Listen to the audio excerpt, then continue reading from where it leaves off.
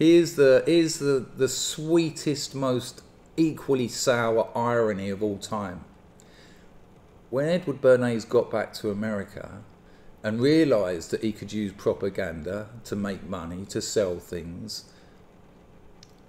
he realised it probably wasn't a good idea to call it propaganda because propaganda was associated with war, was associated with deception.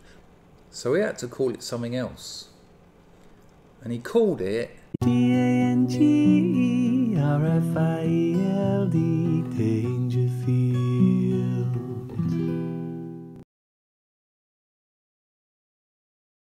All right, there. Uh, yes, I've got a terrible sore throat. Um, I've been cranking out shorts for a commercial project, and they punish YouTube are so terrified of TikTok. If you don't crank out three or four a day, you get well, it's penalised, but I prefer to say punished, especially considering the uh, content I'm about to share with you.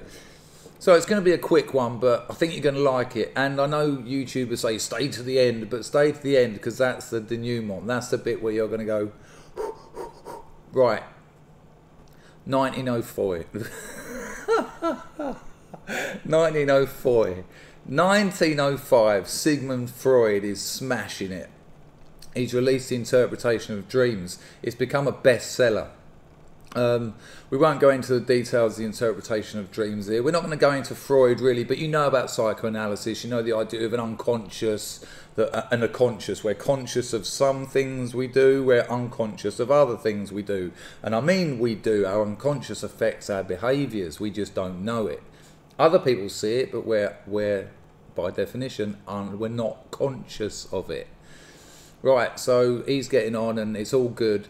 Um, in 1914, the Aust- Austrian-Hungarian uh, Empire take Europe into war. Freud sees this as kind of proving his point, really, proving that these unconscious kind of animal instincts that have been left over from pre-civilization are making their way out. Theories that Ed later talk about in uh, Beyond the Pleasure Principle was Eros, love, and Thanatos, death. You know, we, we're not just, we don't just live for goodness and happiness and love. We've also got a death drive. So it's kind of a com. There's a there's a lot going on in the unconscious.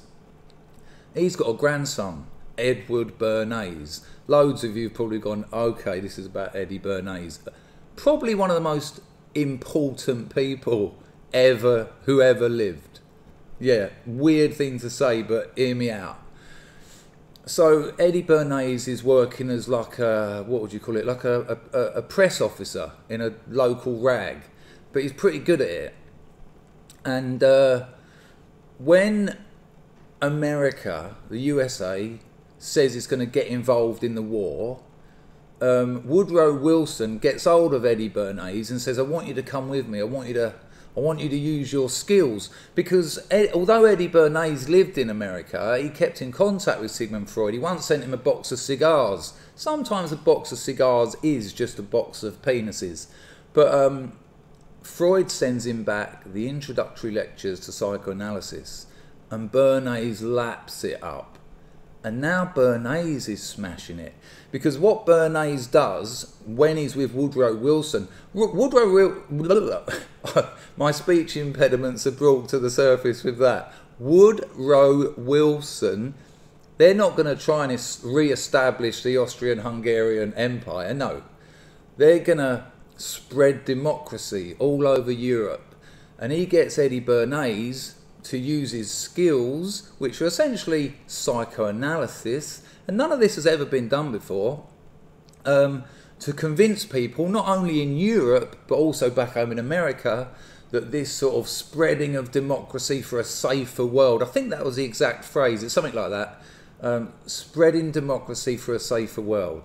And, and uh, basically, Edward Bernays uses propaganda psychoanalysis combined with techniques of persuasion to get the the masses to do what you want.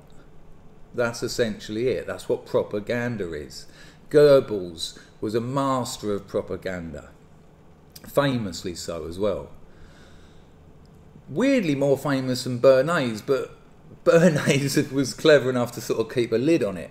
Now, at the end of the war, when Edward Bernays gets back to America and sort of sits like this, like you'd imagine him to, being a grandson of Freud, um, he thinks, well, hang on a minute, if I can use psychoanalysis, a mass persuasion, in, in wartime to convince people to change their minds, to tap into things inside them, instincts that they don't even know about, to get them to do things that they don't know why, surely I can use that in peacetime as well. And he realises that the best thing to do would be to use it to sell things, to get hold of some filthy lucre. And his first customer is, oh, what's his name? I think it's George Hill who was the president of the American Snout Manufacturers. that that wasn't his real title, something like that. American Tobacco Association. He, and he said to Edward Bernays after seeing what he managed to perform in Europe, you know, you can imagine the likes of the president of the tobacco. Uh, you know, a big body like that hanging out with the likes of Woodrow Wilson and Eddie Bernays. And so Edward Bernays says, All right, I'll, I'll take on the job. He says, as long as you let me get a psychoanalyst involved, and you know, he doesn't give a shit. He just wants to sell more snouts. And what Edward Bernays realizes by looking at Freud, by looking at the introductory lecture, lectures, by looking at the interpretation of dreams, by looking at the idea of Eros and Thanatos, they're not called that yet, but they're instinctual drives, remnants of the lizard brain, whatever you want to call it. And he, he works out and you you might I know I know not because I'm psychic because I've told this story a thousand times and I get this response that this is going to sound very crude, but the proof is in the pudding. Eddie Bernays realizes, well, hang on a minute. Most women don't smoke. It was a taboo for women to smoke, certainly in public. And if you could, if you could get women to smoke in public, especially, you're going to up your sales loads. Why? Why try to get men to smoke more? Because in those days, men smoked as many as you know.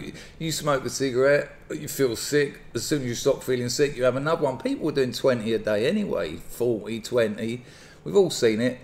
But if we could get half of the population to smoke, so he gets his psychoanalysis involved, gets a couple of other experts involved, and he works out that the cigarette is a symbol of male sexual power. It's symbolic of the penis. And if you could get women to smoke, you could tap into their inner desires that they could actually challenge male sexual power, therefore, male power, and therefore their sense of freedom and liberty all the things he worked out from these drives, from the unconscious. So, what, after doing all this work and investigation, Edward Bernays, every year in New York there's an Easter Day parade. Edward Bernays gets a lot of girls together, um, young women, sorry, you know what we call them, I don't know, 19, 20, 21 and he says to them, stash up a pack of cigarettes under your clothes. Rumour is a lot of them had them in their stocking tops, which is kind of symbolic as well. I mean, it's quite close to another area. I'm talking like a five year old, it's ridiculous. Anyway, uh, because he was a press uh, agent when he worked in America before. I mean, he even went out to the Paris uh, Peace Conference with Woodrow Wilson. This is how this is how embedded into the elites Eddie Bernays was. So he's called on all his press people. He's, he said, "Listen, there's going to be suffragettes at the Easter Day parade in New York. Now they're planning some kind of uh, some kind of protest." So all the press gets down there, they're all there with their cameras and they're, you know, waiting to write it up. What's it going to be? What's it going to be? Edward Bernays is there. And they, he's already arranged it with these women. When I give you a sign, get your cigarettes out and light one up. And if any press come to you and say, what, what are you, why are you doing this?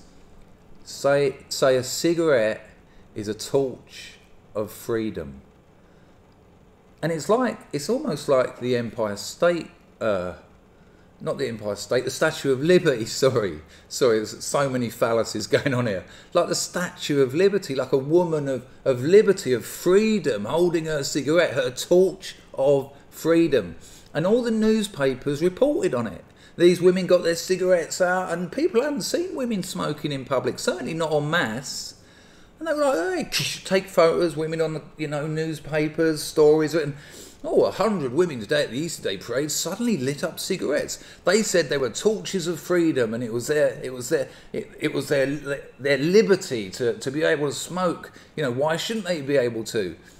even the phrase torch of freedom, it's like feminism.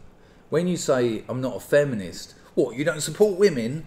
You know, it's like BLM. What, you don't support black people? It's like, no, that's not what I said. So when, when if you don't support women smoking, what, you don't support women being free? No, it's not, no. so it's quite clever. And sales of cigarettes went through the roof. So as crude as you might think all that penis envy and uh, and symbolic relationship between smoking and, and, and the penis and male sexuality, however however crude you might think that is, and it was kind of in those early days of psychoanalysis, it still worked. So unless you can tell me another reason why, I'm sticking with that. Now here's the here's why I wanted to tell you all of that because there's a, one of the most in, incredible ironies ever. Earlier on, let me just get this in. Earlier on, I said that Eddie Bernays was one of the most important people, possibly in history, because he invented consumerism. He, he invented it. He he realised you could get people to buy things not because they needed them, which in you know early 20th century America was that that was for rich people. Rich people bought things they didn't need. They bought luxuries. But poor people couldn't afford luxuries. They only bought what they needed. But Edward Bernays convinced people to buy things they didn't need, not based on rational or critical thinking, but based on irrational desires and drives.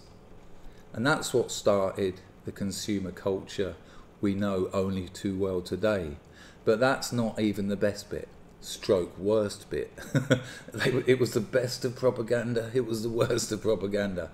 Here's the here's the, the sweetest, most equally sour irony of all time. When Edward Bernays got back to America and realised that he could use propaganda to make money, to sell things, he realised it probably wasn't a good idea to call it propaganda because propaganda was associated with war, was associated with deception. So he had to call it something else. And he called it, and he was the first person to call it this. He invented this, and you all know it. It's one of the biggest secrets everyone knows public relations. PR. Everyone knows about PR if you've got a business, you get a PR company involved. Eddie Bernays, Eddie Bern, Eddie Mayonnaise, Edward Bernays renamed propaganda public relations and invented consumerism. Ta-da!